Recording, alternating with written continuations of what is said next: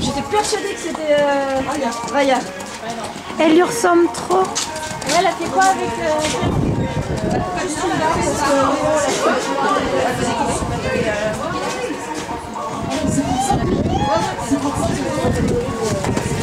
bien bien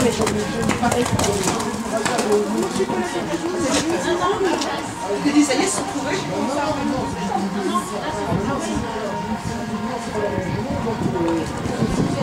ils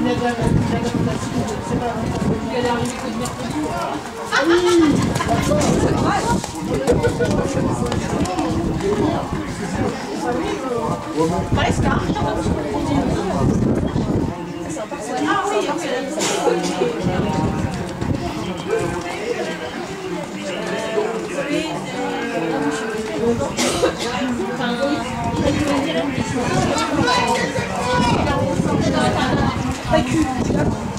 trouvés.